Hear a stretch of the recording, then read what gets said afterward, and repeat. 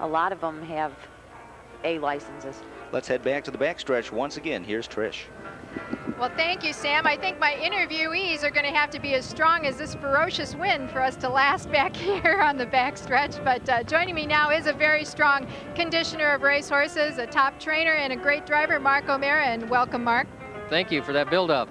Well, it's a it's one that uh, is deserved. You've been associated with a lot of great horses, including the great pacer Jate Lobell, and of course the great trotter from Firm Tribute, among with many others. But you're in a different role right now. We have this Billings amateur race going forward. You're just going to be watching on the sidelines as we send forward. Um, a driver with one of your horses, and actually this one is Crowning Glory. Tell me a little bit about the driver and the mare.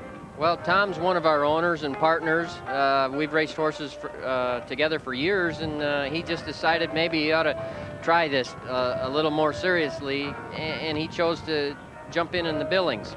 Uh, Crown and Glory, she's uh, a mare that one of our other owners that probably is in more partnerships with Tom and I, and that's Joe McCluskey.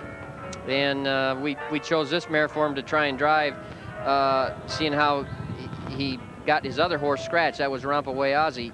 He won with Ozzie out here last year, and I think 158 and three. I believe it was like a track record for an amateur on a half mile track or something, something to that effect. And uh, so he was going to drive him, and and when that uh, when she was when he was scratched, then we we chose to throw throw him back on Crown and Glory.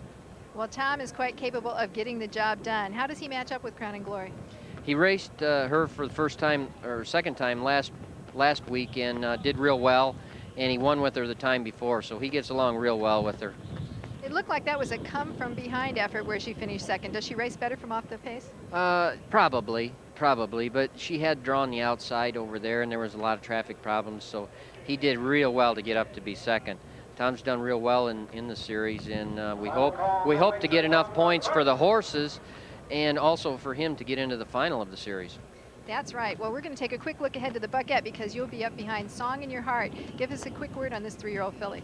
Uh, she's just a nice little filly. Uh, she's in, you know, the half-mile track maybe even things out a little bit. I, I like uh, her chances better with four turns versus uh, two or three. Uh, she's not a real big filly, so uh, I think she can stay closer and be more competitive with on the shorter racetrack. All right, Mark, thanks for those quick words, and we wish you well in the bucket. Good luck. Thank you. Let's go back over to the infield.